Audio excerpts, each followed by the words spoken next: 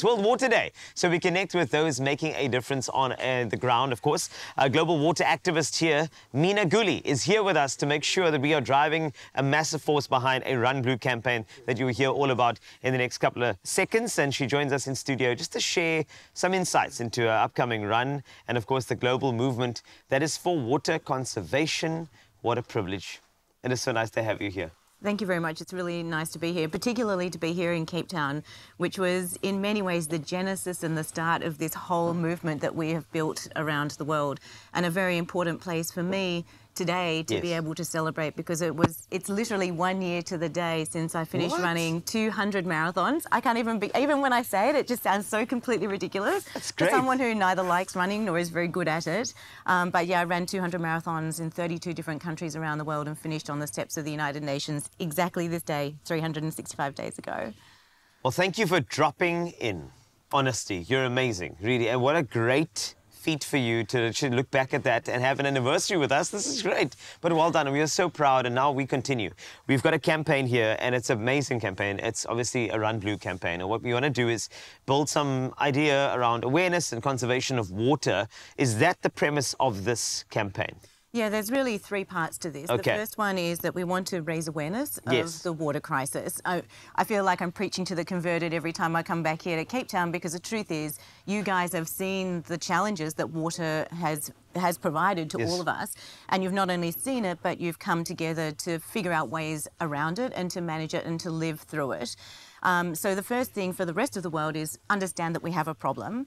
The second is to show that it's an urgent problem yes. that we need to act on. And the third is to really drive change because this is we, we can't continue in a world where we don't have enough water. We need to figure out solutions. And those solutions come from companies, from governments, and from individuals. So that's the premise of the Run Blue campaign drive change. All right. And change is needed. If you look at our country, you said it, you know, there are still moments of scarcity happening and availability and safety. Water safety is also huge. So let's look at the campaign uh, with the World Water Run. I've heard about this, and it sounds incredible. For those who have been under a bit of a rock with regard to the campaign, what is the World Water Run campaign? What's it all about? Yeah, so one of the most special things for me finishing the campaign that I ran, the 200 marathons on the steps of the United Nations, was it was not about me running alone. What okay. happened is that during the 200 marathons that I ran, people around the world stepped up to run alongside alongside me. And by the time I finished, it was no longer about me running at all, thank goodness, because I hate it, as we've talked about.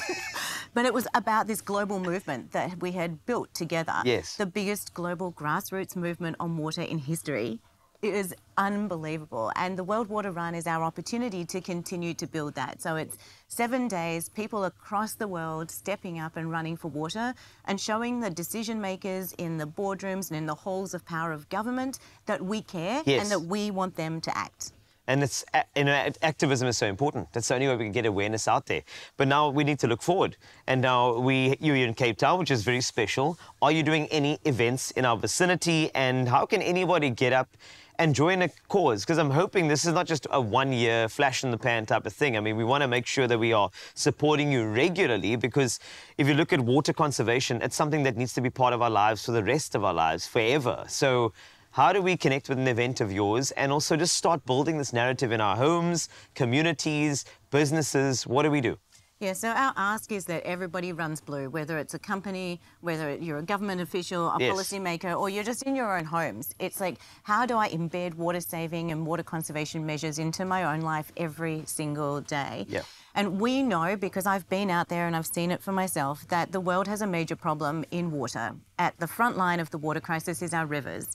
I know because I've been out there and yeah. I've seen it for myself that our rivers are in distress. Yes. So what we want to do is to run a campaign that saves our rivers. So we are building our community around a campaign starting towards the end of the year. Lovely. Um, where I'm going to run thousands of kilometres down some of the biggest rivers in the world, including rivers right here in South Africa and in Cape Town.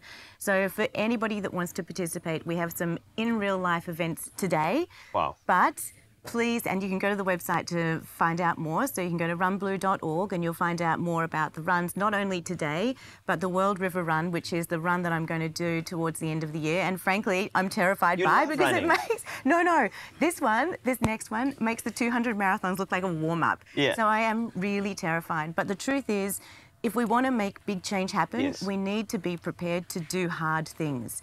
And whether it's running hundreds of marathons on the front lines of the water crisis or it's stepping up to actually solve this global problem, you know, every single one of us is capable of doing more than we realize and doing the hard things necessary to get there. So Wow. I'm excited to demonstrate that it can be done. Uh, I'm totally terrified by it, but the truth is, by being here in Cape Town, surrounded by this incredible community of people, where it all started for me, where I made the commitment here on the banks of the Orange River that this was going to be what I was going to do for the rest of my life, Yes. this inspires me. People here, this community, the the strength of character, Yeah. the determination, the resilience, every single time I falter, every single time I think this is too much, this is too big, what am I doing? I'm a crazy person, I'm not even a runner. And I'm doing this like crazy, ridiculous stuff, running Yeah. through flash floods, climbing up to the tops of glaciers, hanging from trees to see what the impact is of deforestation. All of those things, I remind myself of the Wow. power and strength of the people here in Cape Town and in South Africa, and I draw on it, and it's what helps me to get across the line every single day. So, you guys, you inspire me. I, I'm inspired. Thank you so much, Mina, and all the best with your journeys. I know you love running, but more importantly, Mina loves running water, which everybody has a right to. So, World Water Day, that is your inspiration. Of course, make sure that you join whatever ca- cause comes out of runblue.org.za. Of course, come through runblue.org. Is that correct? Yes. Go click on the website and connect, of course. And more water initiatives and conservation ideas for you in your Feel Good Breakfast show right after this.